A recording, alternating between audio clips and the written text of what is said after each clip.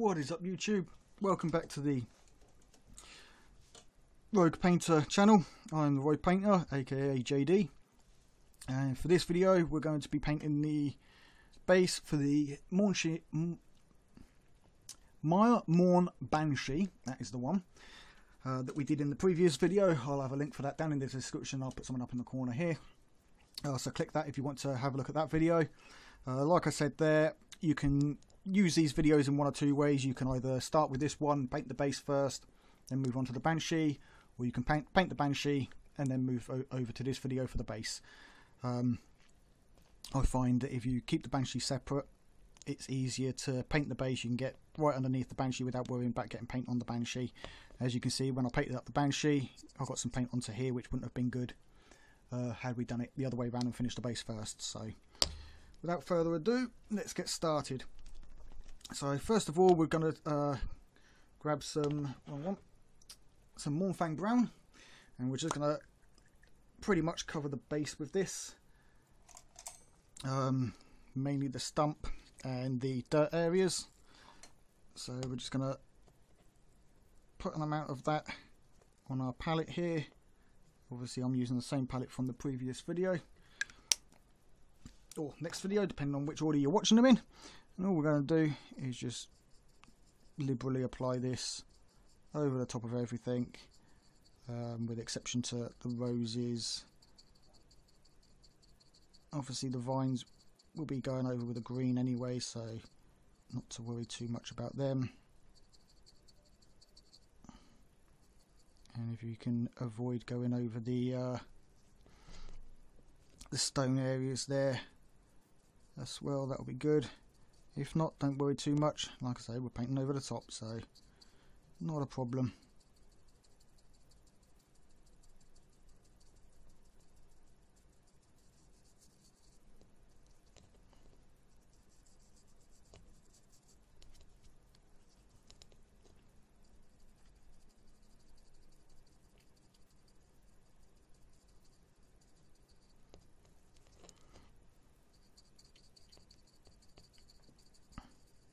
So while I'm doing this, um, I hope you guys are enjoying these videos from me.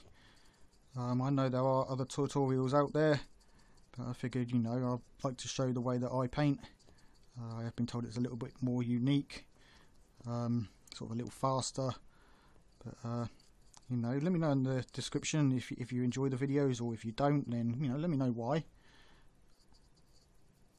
And uh, I'll see what I can do for future videos if there's anything you would like to see painted in the future. Obviously, Mortal Realm Mondays is the Mortal Realms magazines, but I do do other videos, um, other miniatures.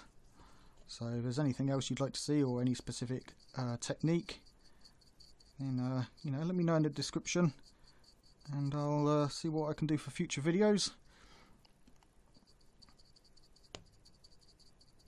Uh, if you'd like to support me on Patreon, uh, you know that would be great greatly appreciated.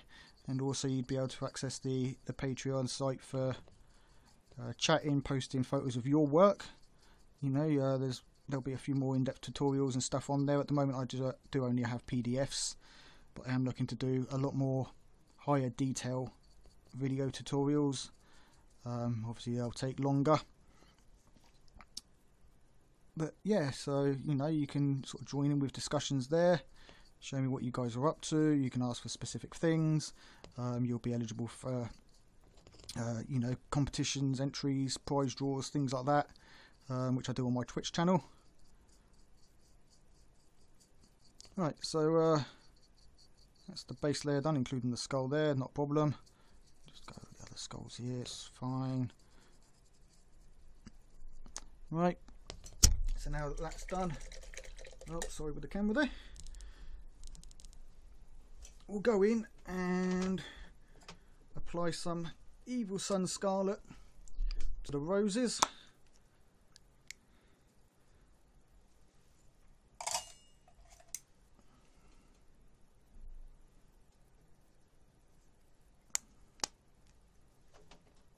Thin that down slightly. And then we can just go in and liberally or carefully I should say, apply that to the roses. Uh, if you want to do different roses you can, you can do blues, purples, which is going for the, the traditional red here. So that there. Obviously try not to get it on the brown area, but it doesn't matter too much if we do. And then the other one here. Obviously if you're doing different bases uh, for the other miniatures, then they are slightly different, but the uh, the general process is the same. If you'd like to see a video for each of those, let me know, and I can make more for the bases.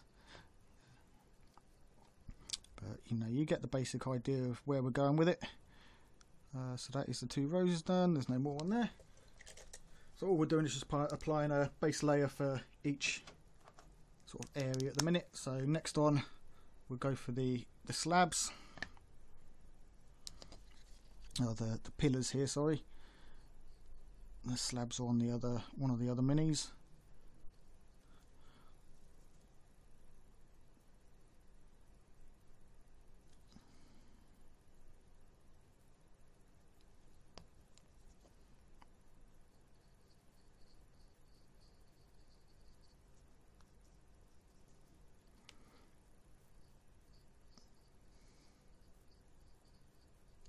And again, these aren't designed to be, uh, you know, competition quality or anything. This is just to get them ready for battle, get your minis on the field, get them winning you some games.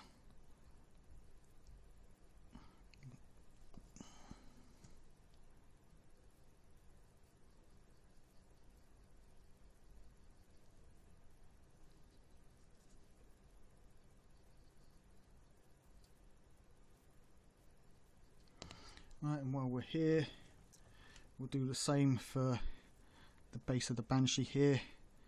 Obviously some of the, the base work does come up onto the miniature.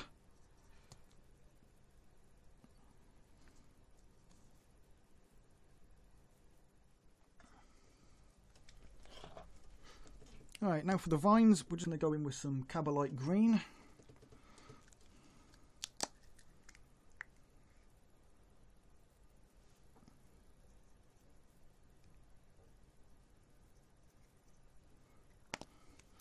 Right, so we want to thin this but not too much as we don't want it running off these very very thin vines and down the sides of them or anything. So again pull your brush to a nice point and then we're just going to find all the vines and all the leaves. We're just going to give it a quick layer of this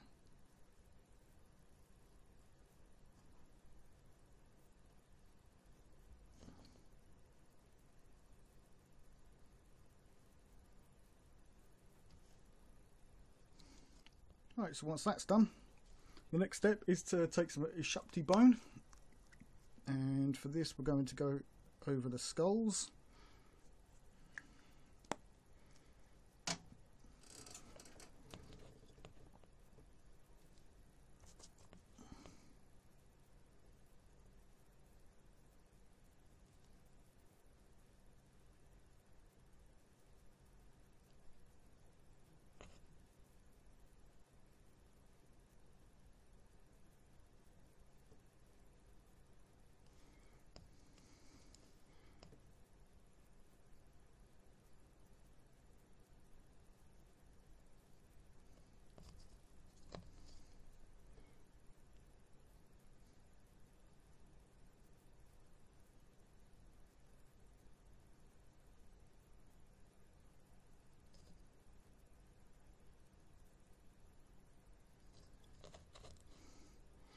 That's our skulls done.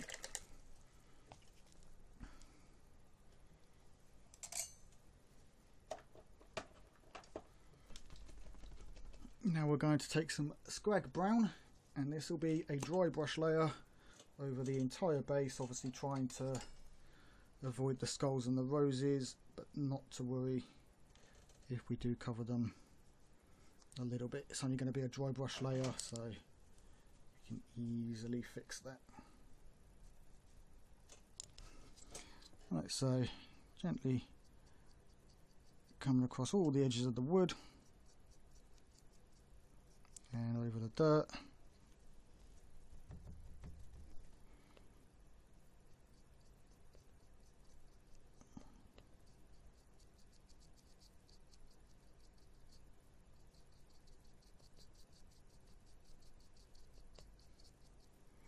try and come across the uh, the wood grain texture here. Rather than down it that way you won't get any paint into the recess areas of the texture.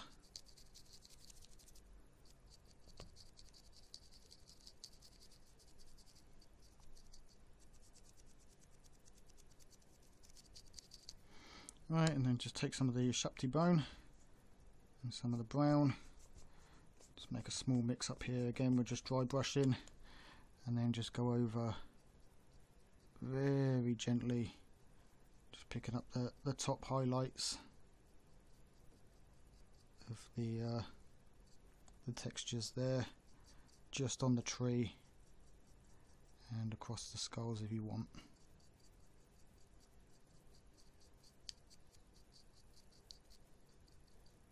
so the tree stands out against the, uh, the mud a little bit.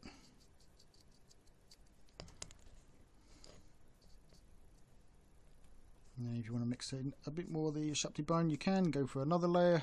It's entirely up to you how much you want to go over this. And we're about going over the green because we are going to put some highlights over that anyway. There you go, so that's the tree all done.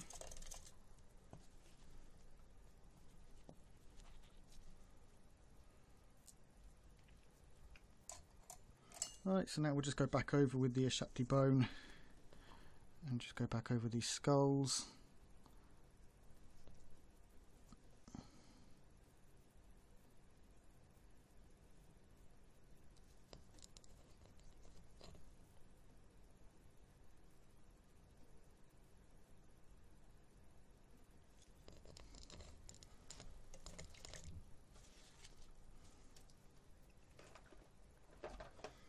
Right, now we're going to take some moot green.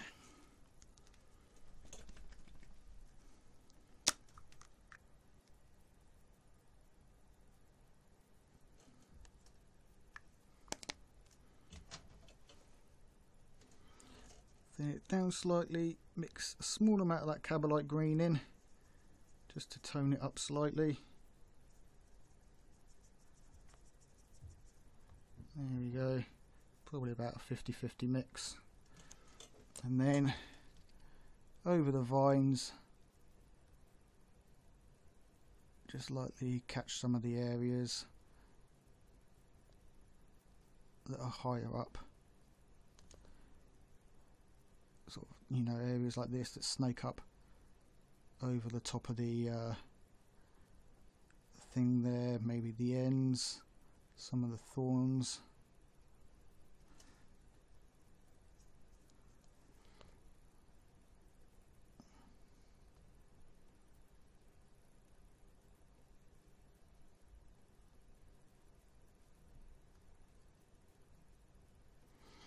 and then obviously we can catch some of the leaves as well. Again you don't have to do the entire leaf just try and pick off some of the edges.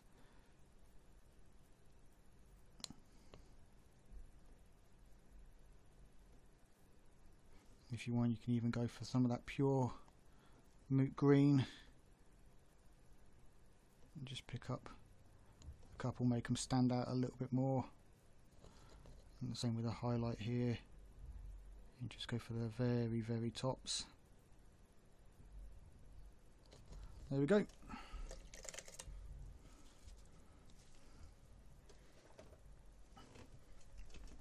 Alright, now we're just going to take some Wild Rider Red. Just a small amount, this is just for the tops of the roses.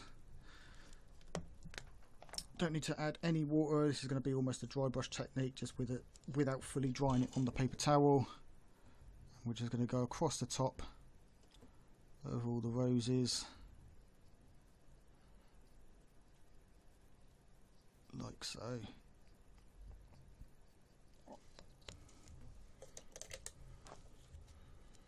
And then some dawnstone just for the pillar there. Same again, very small amount this is going to be a, a dry brush layer just to catch the edges and the very top there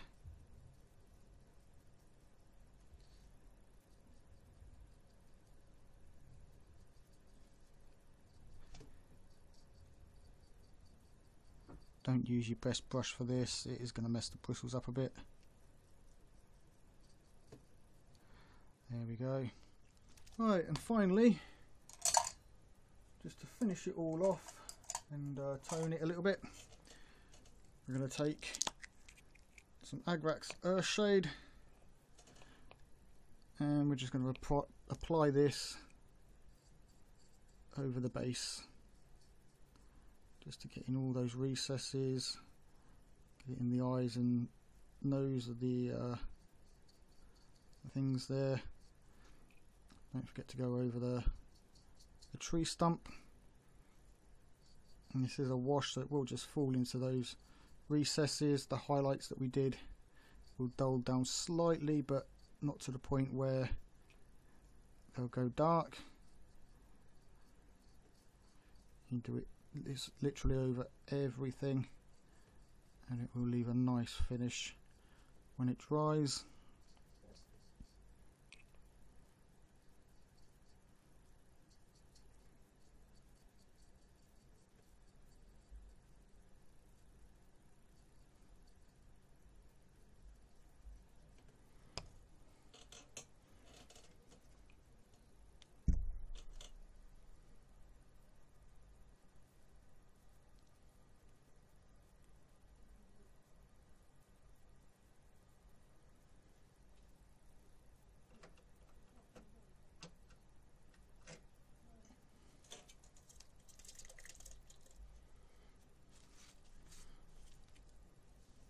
Right, and we'll come back once that's dried.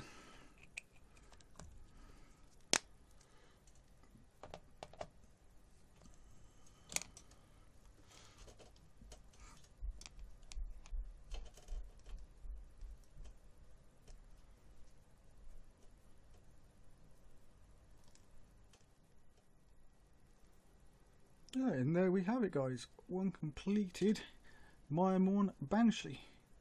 I will get a, uh, a photo up here just so you can see uh, an actual photo representation of it. Obviously it doesn't come out as great on camera. But uh, there we go.